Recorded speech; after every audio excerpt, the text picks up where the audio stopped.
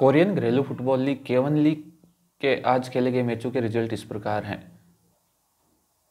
सोन FC ने Digitone city को पाँच तीन से हराया। वहीं दूसरे मैच में जबोंग हुडियाई मोटर्स ने इंचोन यूनाइटेड को दो शून्य से हराया। वहीं आज के अंतिम मैच में जेजू यूनाइटेड ने गंगवान एफसी को एक शून्य से हराया।